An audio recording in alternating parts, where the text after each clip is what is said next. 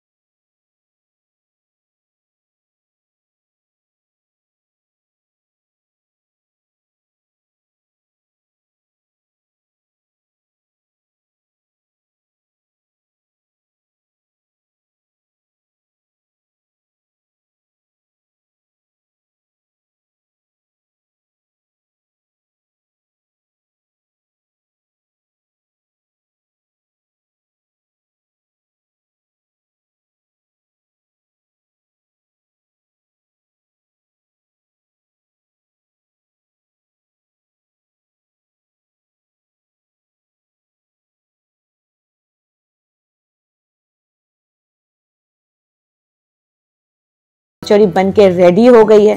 देखा आप लोगों ने कितना इजी तरीके से ये सब्ज़ी बन के रेडी हो जाती है। आप भी इसे ज़रूर ट्राई कीजिए और इसे चावल के साथ ज़रूर खाइए। ये खाने में बहुत ही स्वादिष्ट होती है।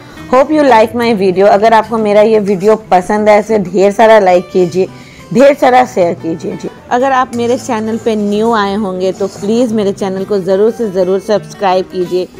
और ऐसे ही मुझे मोटिवेट कीजिए ताकि मैं अपने नेक्स्ट वीडियो जल्द से जल्द आप लोग के साथ शेयर कर पाऊँ। मिलती हूँ नेक्स्ट वीडियो में। Till then bye take care